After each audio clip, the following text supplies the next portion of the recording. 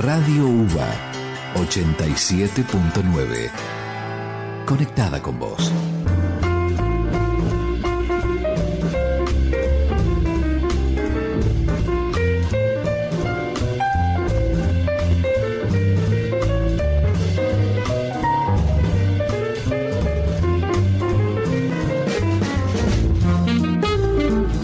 Comienza la columna de Oscar Chilkowski, profesor consulto de la Universidad de Buenos Aires.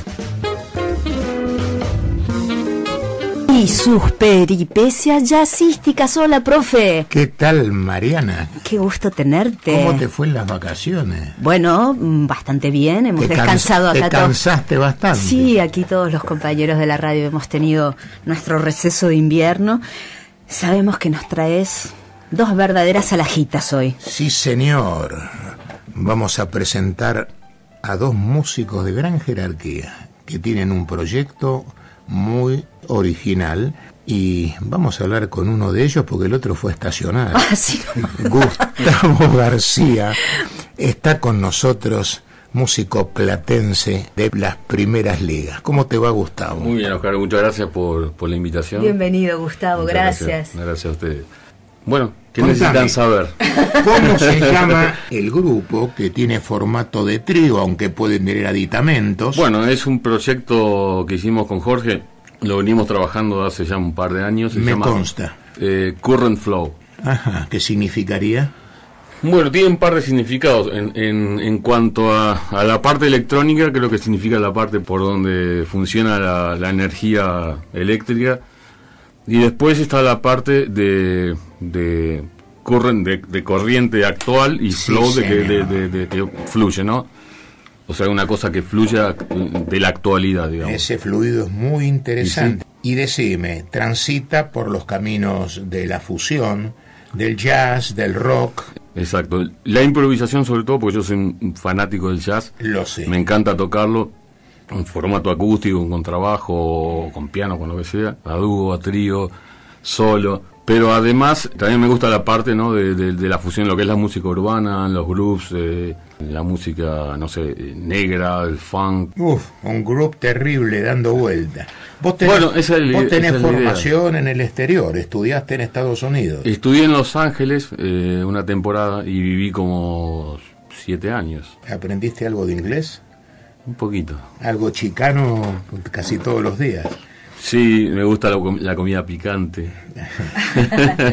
¿Querés, eh, profe, que le contemos a la gente quién es Gustavo García? Ya Sí, que señor. Ha venido de tan lejos. Ah, Gustavo bueno. García, como nos estaba diciendo, eh, comienza sus estudios de guitarra a los 8 años de edad, precozmente, a los 20 años. Y antes traslada- también, en Antes realidad empecé antes, empecé a los eh, a los 5 creo. Epa, De forma particular y a los 8 ya eh, instruyéndome a nivel clásico. impresionante. A los 20 años, como nos contaba, se traslada a vivir a la ciudad de Los Ángeles, en los Estados Unidos. No a, lo- a- no, a los 23 me fui a Europa. Estuve viviendo en Madrid un tiempo y de ahí me fui, me fui a trabajar con, con un grupo que hacía música internacional y yo me encargaba de hacer la parte ya de, de secuenciar, de programar las baterías electrónicas y teclados a Finlandia. Ahí estuve como 8 meses. Qué bueno. Interesante, qué País interesante. número uno. Sí, ha- me han dicho que ha cambiado mucho. Desde, En esto- muchos sentidos. sí. En educación. En educación está, sí, sí, sí, en educación está, sí, sí, sí. Vos sabés que esto se emite desde la Universidad de Buenos Aires Sí. y vos tenés fuerte vocación docente como Jorgito y se dedican mucho a eso. Así que en Finlandia tocaron. Y en Finlandia estuve, eh, trabajábamos en, en, en hoteles, era una agencia, ¿no? Nos contrató una agencia. En principio habíamos ido por tres o cuatro meses y se extendió la cosa. De hecho, yo abandoné el barco porque tenía otros proyectos, pero mis compañeros se quedaron. Uno de ellos se casó con una finlandesa, está viviendo ahí, Una Eh. rubia divina. Tina.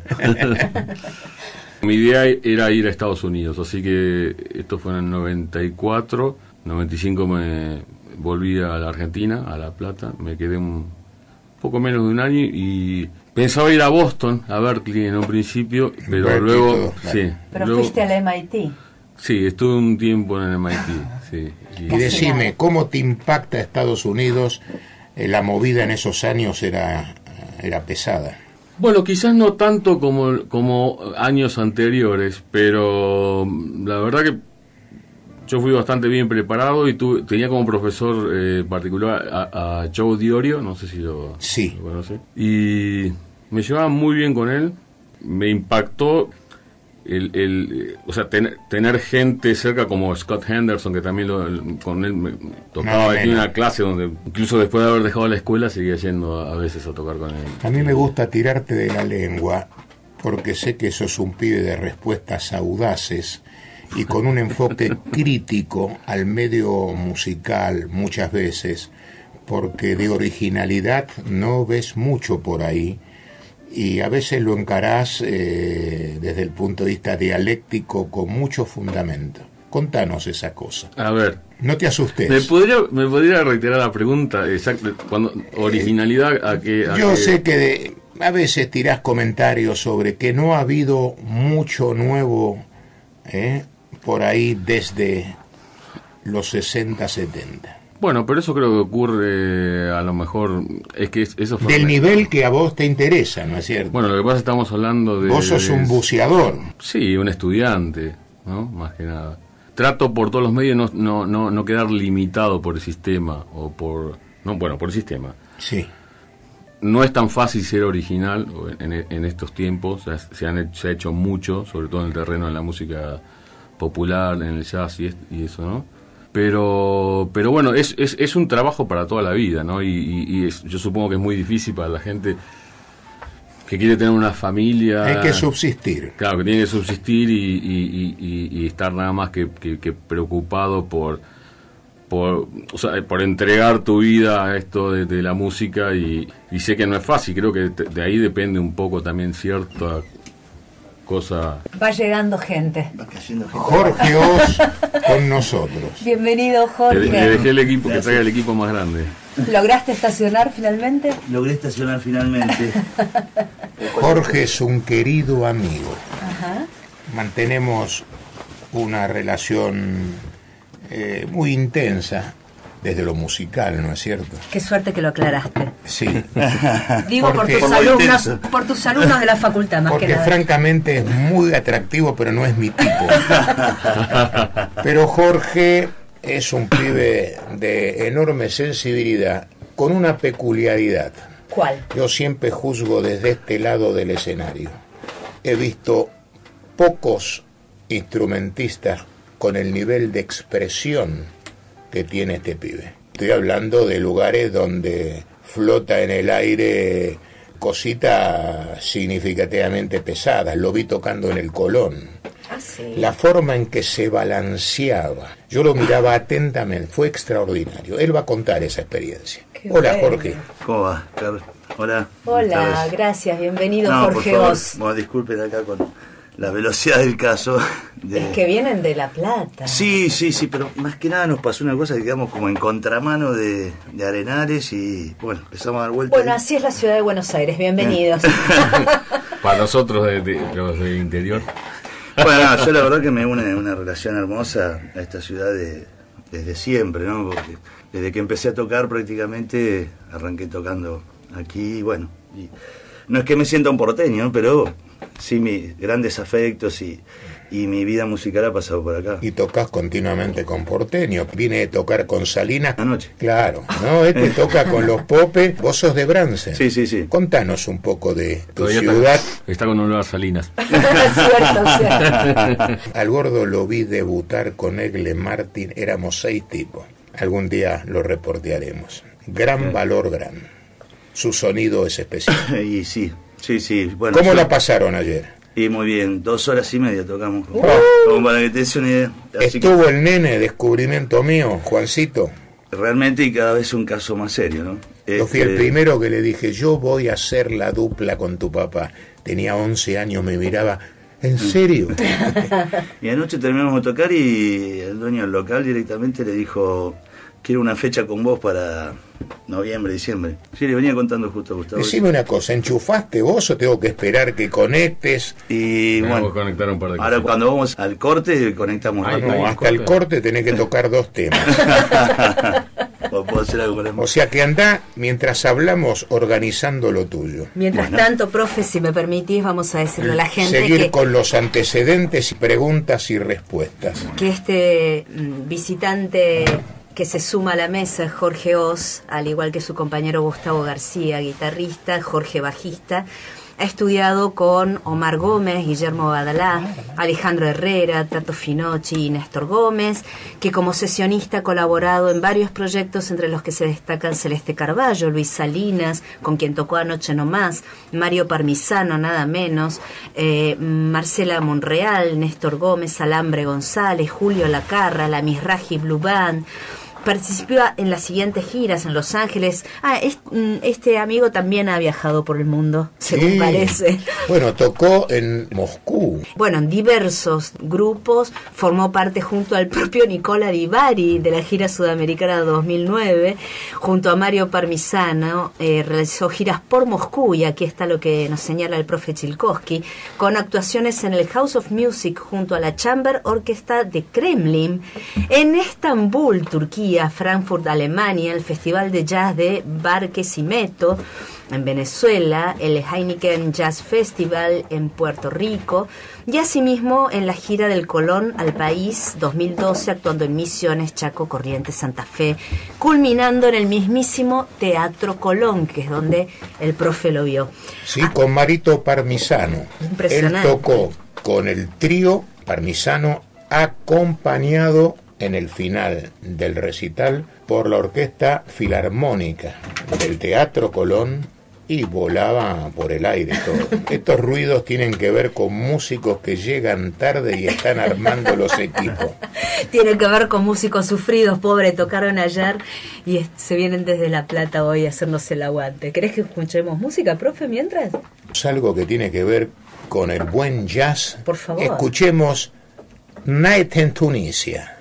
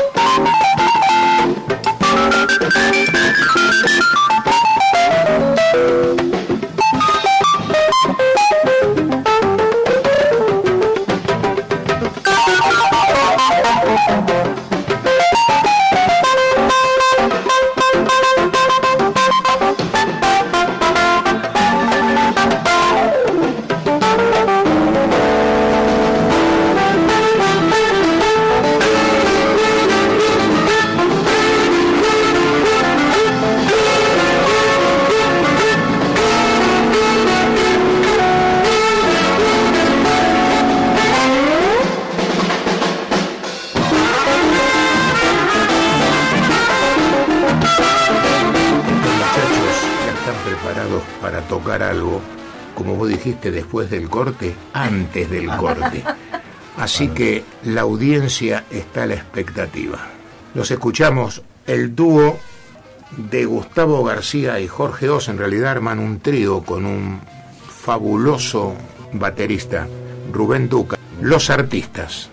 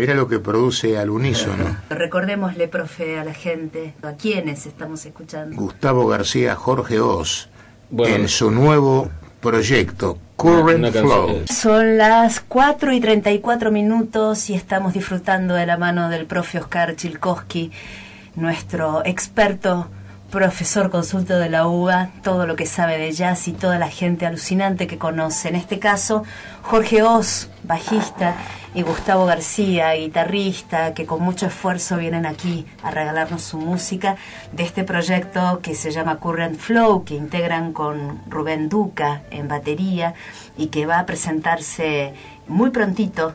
Ahora veremos cómo, cuándo, dónde, a qué hora. Todo de la mano del profe Chilkowski. Bueno, maestros, a ver si tocan algo. Vamos a. Thank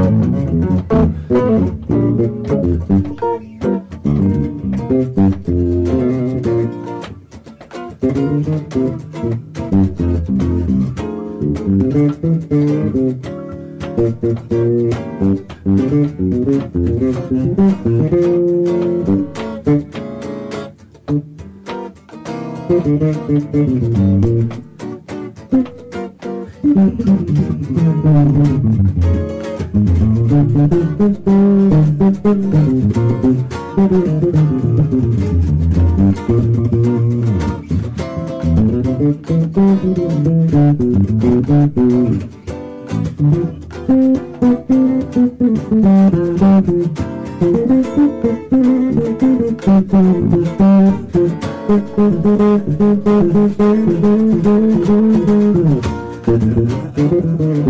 you.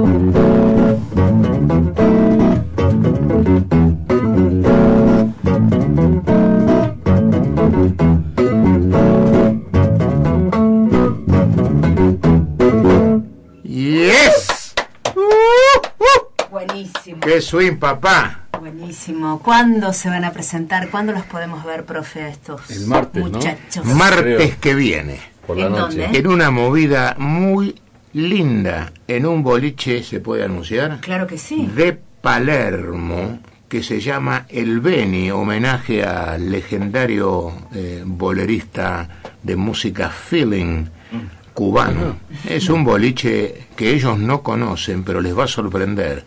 Tiene una ambientación tropical. En cualquier momento entra Hemingway. Wow. Y- ¿Dónde está, profe? Esto queda en la calle Serrano 1327, casi esquina Niceto Vega. Hemos planeado una especie de entrada sin cargo de una hora con un bolerista con acompañante. Bueno, canta jazz, blues, bossa, folclore de todo. Martín Delp, sin cargo. Y a continuación el gran grupo Current Flow que va a tocar con un baterista de enorme nivel. Rubén Duca, ¿no? Sí, señor. Así es. En realidad el tema baterista es Tomás Babiazuk. Sí, señor. Muy amigo Tomás, un músico extraordinario. Un músico extraordinario y, y bueno, es, es como medio rotativo porque los, bateros están todos como muy ocupados. Laburan mucho. Y bueno, nosotros también hemos decidido, es un proyecto que tampoco surge de la nada, sino que venimos trabajando en esto ya desde hace un año y medio, más o menos, en elaborar esta idea y por eso también nos costó poder encontrar un nombre que el tema del sonido enfoque un poco lo que era lo musical, ¿no? El, sonido del nombre, eh, digamos, como que dábamos mucha vuelta para poder, eh, algo que, suene bien a nosotros y que tenga que ver con, con la idea musical, que bueno, es... Este, así que hasta nos hemos metido en, el tema de, de, la física bien para saber qué era esa cosa de la, la corriente fluida y bueno, un poco de lo que pasa también en tiempo real de la corriente y esa cosa de más energética, de, de, de, de, comunicarlo con el público y poder lograr un efecto en tiempo real. ¿no? Quiero que cites al pasar la estructura de la organización de enseñanza que vos y llevas de la mano en tu ciudad. Sí, eh, bueno, es una escuelita que ya tiene 14 años y, y de la cual... este no, sin, sin, pudor, contá este, porque es una cosa pesada. Y estamos orgullosos porque, o sea, eh, como todo pueblito del interior, este, por ahí, o sea, no, no, no, ni, educación formal ni nada, ¿no? Entonces, este, también no es que surgió de un gran proyecto como una idea, sino que se dio naturalmente porque se ve que había como sed en, los había demanda. había demanda de... Estás hablando de Bransen. De Bransen, ¿no? El lugar donde, bueno, elegí echar raíces y quedarme y, muchas veces estuve por venir a Buenos Aires. pero vos sos nacido dónde? Eh, soy nacido en Bransen. En La ah. Plata, pero este, o sea, me crié en Bransen. Y ahí quedé. Siempre, bueno, la, decisión fue, este, bueno, viajar y, y, así se dieron las cosas. Tengo tres hijos y se quedaron ahí, ¿no? y hace 14 este, años y hace 14 este claro sin un proyecto sin pensar claro y, y, bueno nos llevamos la verdad que una en, realidad es una cosa que es enfocada muy hacia el humano porque o sea ahí va desde un ingeniero a un tipo que tiene un taller mecánico o tenemos un alumno que tiene 79 años que toca el bajo y que él de chico no lo había podido hacer por esas cosas de vida y, y hoy está tocando y bueno, y ese proyecto se extendió a la ciudad de San Vicente, que con Gustavo ahí compartimos la, dirección de, del lugar y, y, la verdad que bueno, es, es, es una fuente de energía tremendo ese lugar porque de ahí han salido músicos que hoy están tocando con un montón de gente. Gustavo, ¿cómo se llama la escuela? Eh, la escuela se llama Músicos. ¿Tiene un perfil en Facebook por si alguien nos escucha y es de la zona y quiere sumarse? Sí, sí. Sí, la verdad que es una cosa cultural importante porque este, bueno, cada mes organizamos una jam y bueno, y, y, todo el, gran apoyo de amigos que uno ha cosechado durante tantos años en la música han ido a, apoyarnos un montón y bueno, y eso al, tipo de pueblo lo, lo, valora mucho y bueno, y ha hecho que, que crezca, se hizo un lugar este, importante. Y bueno, en San Vicente también está pasando una cosa parecida, ya hace cuatro años que estamos y... Qué lindo. Y bueno, tenemos mucha pasión por ese trabajo. Vamos todavía. Este es un programa que tiene que ver con lo cultural, es la revista cultural de, de la radio, el programa que conduce Mariana. Y nosotros tenemos una columna que se llama Peripecias Jazzísticas, así que tenemos que tocar algo jazzístico. ¿Se animan? Por supuesto. ¿Cómo no? Veamos. Por supuesto.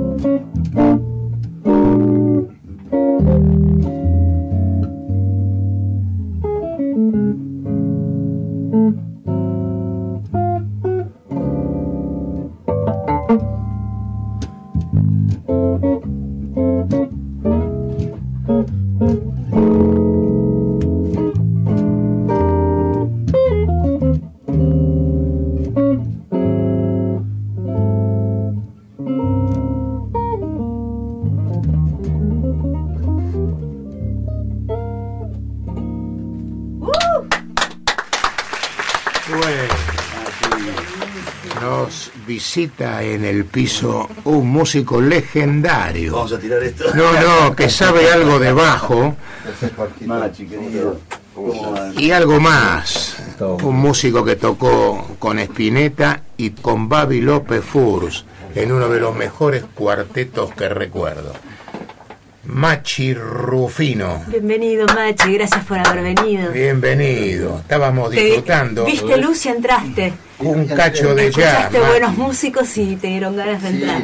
Vos sabés que te voy a contar algo que creo que vos desconocés. En Jazz y Pop, una noche, el negro González me dice, vamos a morfar a Pipo. Había tocado este señor la guitarra Gustavo García, con un pibito que vos conocés bastante, tu hijo, en bajo. Entonces fuimos a morfar y tu pibe se sienta frente a mí y el negro se siente frente a, Gustavo y le digo, yo a vos te conozco de pibe. Me dice, ¿cómo puede ser? Le dije, no, yo a tu papá y se volvió loco. El negro dice, llame al encargado, porque yo acá no como nunca más, muy cara la comida. Y se armó un quilombo y nos reímos y quedó esa leyenda que trato de unirla ahora. Bueno, ¿cómo suenan estos pibes? Bueno, los venía escuchando por la radio y me apuré un poquito para poder, escucharlos en vivo. Bueno, Jorge, nos conocemos de, de con el maestro Parmesano, de ahí, ¿no? Que hacían una música tremenda. es bueno difundir que Jorge tocó con Mario Permisano por el mundo, en el Colón y en Moscú, pero ellos hacían la música de Piazzolla sí. con un enfoque jazzístico Sí, sí, sí. eh, muy original. Eh, yo tuve la suerte de verlos en el Colón y fue el final con la filarmónica y la gente de pie no cabía una mosca ovacionando Marito lo, lo superó el momento, estaba eh, eh, y los viejos que son divinos, cumplió 100 años el papá y la mamá Sí, sí. 99. ¿De verdad? Digo, Sí, sí. ¿quién puede Lindo, sostener a los padres a esa edad divino? Sí, sí, bueno, y este la descosió, y en una cosa de loco. Qué lindo, Dios. Qué lindos recuerdos. El jazz tiene estas cosas. Y Piazzola es Piazzola. No da tiempo para que hagamos algo porque eso es más complejo. Ah, pero bueno, estar, estar al lado de, de- de un ídolo, porque bueno, vos lo sabés desde siempre, ¿no? O sea, cuando uno se formó, o sea, Machi marcó una, una tendencia. Machi es un ídolo. No se puede Este, caminar con él por la calle. Lo y- paran. No, no, pero además también porque, ¿no? En, en en nuestro instrumento, eh, eh, hasta la época se tocaba de una manera y... Es y uno de los más sensibles. Este, Yo estuve presente cuando dialogando Babi con interlocutores quisieron convocar a un contrabajista o bajista y apareció el nombre de él. Y Babi manejó la volada como para que... Y tocaron mucho tiempo con Cerábolo, Cuatro años. eh, cuatro, Cuatro años. años. Bueno, lo que sonaba es, bueno, Babi es celestial. Sí. Y Cerábolo primera. Bueno, ¿qué estás haciendo ahora con Luisito? Y con Recreando... Luisito- Con Luisito estamos, eh, digamos, celebrando Es la música Yo lo vi en el debut Sí. en la trastienda, me arrancó la cabeza. haciendo un disco que tuve la suerte de grabar hace casi 40 años. Un disco oscuro, maravilloso, No, el disco pero era, nunca el tuvo disco era luminoso. que. Lo que pasa es que la gente no lo entendió en su Es momento. lo que estoy diciendo. A 18 minutos del sol y las críticas eran terribles, ¿no? no so- o sea, no la, la gente además decía Está lleno de sordos. le gritaban toca muchacha Claro, fuerte", claro, claro. Y No, no, Luis bueno, hacía, era de- y Luis hacía un Green Dolphin Street por ejemplo porque estaba copado con el jazz Sí, sí. y era como un descubrimiento para él inclusive hay una grabación dando vuelta por YouTube donde él le dice al público yo pensaba que el jazz era mi enemigo y no lo es, ¿no? Eh, nunca más Luis se sintió en la necesidad de explicar a su público lo que él hacía musicalmente. Claro. Pero en aquella época parece que sí. Y las críticas también. Yo ahí tengo una crítica de, de una famosa revista, eh, Expreso Imaginario, que decía, bueno, los músicos más allá de su conocida idoneidad no mostraron nada, que eso, muy lapidario todo. Y donde en otro en otra revista le sugerían a Luis Alberto buscar otro guitarrista para tocar esa música. Socorro. Como- bueno, nada, era muy, muy terrible. Y después eh, con Luisito tocamos hasta principios del 78, yo después dejé la banda, entró Ricardo Sanz, a quien vos conocés. Sí, sí. Estuve Eh, con él esta semana. Bueno, y, eh, y después ya Luis se fue a Estados Unidos a grabar el disco Only Love Can Sustain y, y después vino la reunión de Almendra, o sea que ahí ya se perdió el disco de 18 minutos. Y curiosamente Luis Alberto decía que era el disco más importante que había grabado en su vida. Lo, dijo en un libro Varias veces. de Eduardo Berti, Crónicas e Iluminaciones, y también lo dijo en un En reportaje. reportaje, sí, claro. sí, sí. Y yo un día fui a la casa por otras cuestiones, ¿no? Y en un momento le digo, Luis, ¿en serio vos dijiste eso? Porque no me lo creía mucho. Me dice, claro, machi, dice, mejor disco que grabamos. O no te acordás de las viejas mascarillas, que yo. Y me explicaba él a mí los puntos altos del disco, que era ridículo, porque yo había grabado. y Vos estabas ahí. Yo estaba ahí. Y, y bueno, ese disco, además, un gran músico que vos conociste, que era eh, Osvaldo López en la Extraordinario, batería. gran amigo. Y Diego, Terrible. y Diego Rapoport. O sea, era un disco donde había dos músicos claramente de jazz y Sí, dos se que iba veníamos de- nutriendo, Luis, claro. muy inteligente. Y, y vos fíjate que lo criticaron mucho y siete años después lo hizo Sting y era un genio. Entonces Bueno, acá hay una cuestión pasa. ahí medio... Pero Vos bueno, viste sí. cómo son Sí, así es. Qué lindo, qué lindo momento, Oscar eh, reunión de amigos. Eso, reuniste En un feca. dos camadas de, de musicazos, Jorge Oz, Gustavo García, Machi Rufino, pero Gustavo y Jorge, eh, que junto con su compañero en la batería van a presentarse el próximo Con Rubén Duca. martes con Rubén Duca, en el Beni. Merecen este, que se sepa con una entrada realmente accesible que puede incluso comprarse anticipadamente o en puerta, tanto da, en la calle Serrano 1327 el próximo martes a las nueve y media de la noche. Y a las 8 un espectáculo previo, un talonero de lujo. Ah, fabuloso. Martín Delp. Profe Chilkowski, músicos Jorge Oz, Gustavo García Machirrufino, gracias por haber venido. Gracias, profe. Gracias. Los quiero mucho y viva el jazz.